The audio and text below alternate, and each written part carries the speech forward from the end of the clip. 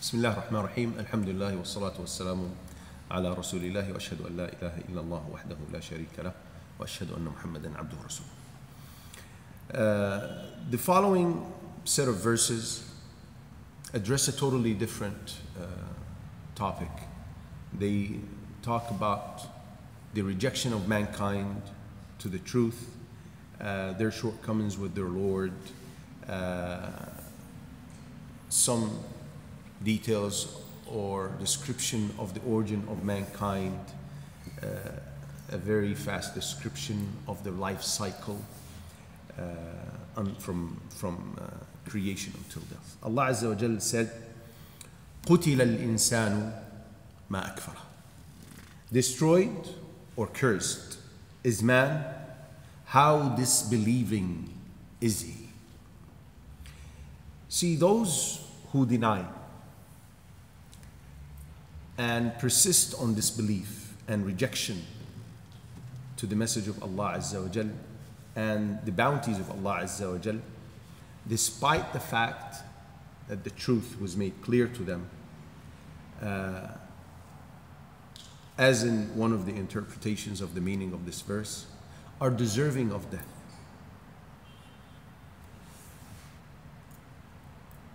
Allah Azza wa concluded the verse with saying, Ma akfarah, how disbelieving is he.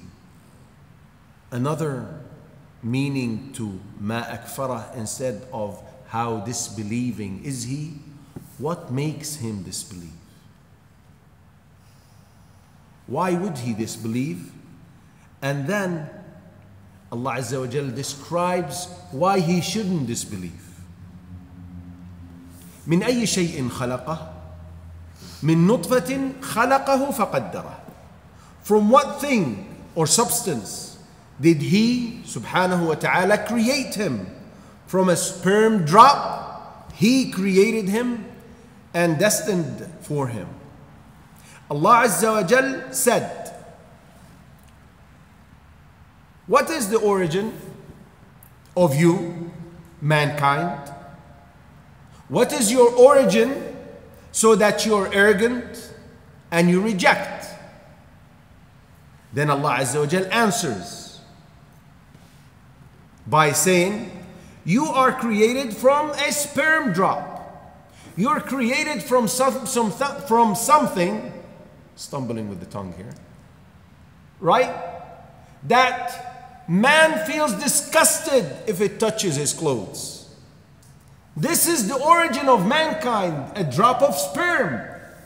Allah is saying, Your origin is this, and yet you're arrogant, yet you deny, yet you reject, yet you do not appreciate the bounty of Allah Azza upon you.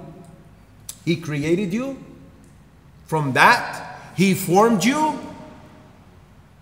He decreed your lifespan. He provided for you, and that's also decreed and written. And He appointed a time where all of this will be concluded, the moment of your death. Then how can you disbelieve? How can you be- disbelieve and deny resurrection, knowing that He formed you from this and that this is your origin? ثم السبيل يسره then he eased the way for him after he formed him in his mother's womb going through different stages as described in details in different verses in the Quran in different, different surahs in the Quran Allah gives the, the stages of the formation of mankind from the drop of sperm until he is formed into a fetus then after that, he comes out from that protective container, the mother's womb. He goes out, having been weak and in need and dependent on his mother, coming out in the same state of being weak and dependent upon his mother, for whom Allah Azza wa facilitated to feed while he was in and after he's out. Allah brought him out to this huge universe and facilitated it for his service and benefit. And facilitated the means for guidance. See, a lot of people have a very limited definition of rizq, thinking that provision is only dollar sign, real sign, pound sign. It's only money. But it's much broader than this. The fact that Allah Azza wa Jal guides you to His path is the best, it's the ultimate provision anyone can get. Your health is rizq. Having a good wife is rizq. Having good children is rizq. Being content with the decrees of Allah Azza wa Jal is rizq. So Allah Azza wa Jal brought us from our, our, our mother's wombs into this open world and facilitated all types of rizq for us tangible and non tangible, food, money, and guidance. And then, as we said, Allah Azza set a certain time for this journey to end. So Allah Azza wa Jal brought us out and He has a set time for us which will conclude our story in this life. And this is what the following verse is saying. ثم أماته فأقبره. So look at the cycle described here from a drop of sperm until you're in the grave. ثم أماته فأقبره. Then he causes his death and provides a grave for him. Allah Azza wa Jal summarized that cycle in these few verses. But though they are summarized, yet they are enough for one to understand the cycle of life and the wisdom behind it. So when the journey of this life for mankind ends and the set appointed time is reached, he will face what every human being will face. He will face death. And then, out of mercy from Allah Azza wa it's one of the bounties of Allah Azza wa upon us that He legislated that dead people should be buried in graves. It's a way of honoring the human being.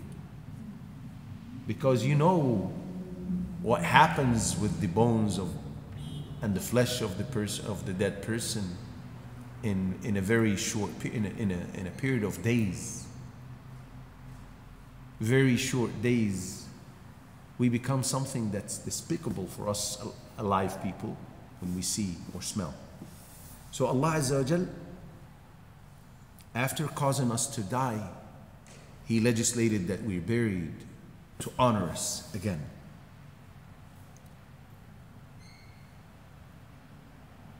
Again, this, this message that is conveyed to the people of the Quraysh is that Allah is the one who had the command before your birth. He commanded and you were created. And it's His command that put an end to your creation, to your life. He said, Be, kun, fayakun, and you're dead. Again, how can you deal with this creator who has or in whose hands is your creation, your life, and your death? How can you deny him? Deny his ability to resurrect you and his ability to hold you to account. ثم إذا شاء أنشره then when he wills subhanahu wa ta'ala he will resurrect him. So he caused him to die. He legislated that he is buried in the grave. And then we are alone in that grave, in that dark hole underground. For Allah only knows how many years until the day of resurrection. That dark, gloomy hole. The life in which depends on our performance before we're thrown in it. If we're good, then it will be illuminated and bright. And it will be the beginning of an eternal blissful life. And if we insist on disobeying Allah Azza wa Jal and transgressing the limits He set for us, then no one to blame but us. That hole will be a miserable hole, an introduction to much more and much severer punishment to come after that. ثم إذا شاء أنشره then when he Allah the Almighty wills he will resurrect him. He will bring him back from that hole resurrect him back put back life into him. And uh, we've described in Surah Amma and Nazi'at the terrifying scenes of the day of judgment so there is no need uh, to repeat them Are we ready, brothers? Though this is addressing, or was addressing in, in, in, uh, in principle, was addressing the Quraysh, but it's also a message sent to me and you that there is a time when you will end this journey, be thrown in that small hole, the grave, and expect the recompense of what you did. Are we ready for that moment? The moment of death.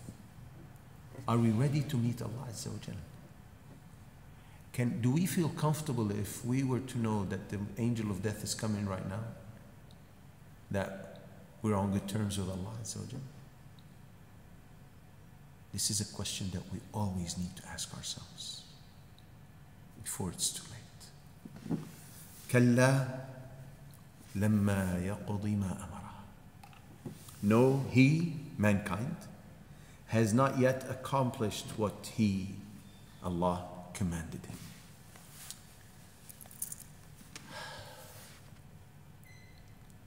Despite all of these favors, despite the fact that we know, and they knew, the Quraysh, that he was the creator, yet they do not fulfill what needs to be fulfilled. They do not accept, and for those who accept, they do not maintain themselves within the limits, within the boundaries of Allah. This uh, concludes the second set. See, this surah has four sets of uh, verses, four different scenes. Uh, this concludes the second set uh, of verses with which we will conclude uh, and resume afterwards inshallah. Subhanakallahumma hamdika ashhadu an la ilaha illa ant astaghfiruka wa atubu ilayk